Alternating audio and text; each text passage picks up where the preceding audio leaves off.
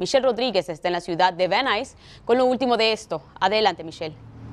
Así es, buenas tardes. Nos encontramos en la intersección de Van Nuys y Victory, donde cinco personas fueron llevadas al hospital tras un aparatoso accidente provocado por una persona supuestamente bajo el efecto del alcohol.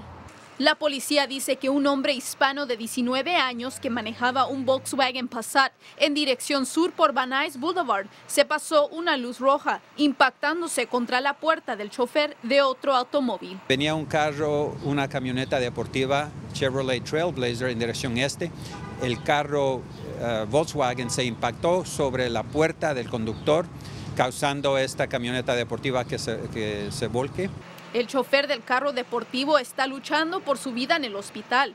El choque causó que otros dos vehículos se estrellaran. Y fue impactarse contra otros dos vehículos, causando que se riegue gasolina, aceite por toda la calle. Que, todas las personas que venían dentro de los vehículos se quedaron dentro del vehículo. Eso nos indica que sí traen los cinturones de seguridad que potencialmente les salvó la vida. El conductor responsable de este incidente ha sido detenido por manejar supuestamente bajo la influencia del alcohol, mientras está siendo tratado en el hospital por sus lesiones. Y cuando ya sea dado de alta, entonces vamos a hablar con él para ver un poco más acerca de cómo ocurrió este trágico accidente.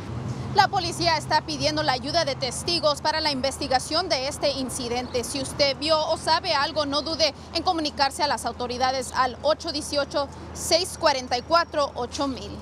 En Nuys, Michelle Rodríguez, Noticias 62, tu ciudad, tu equipo.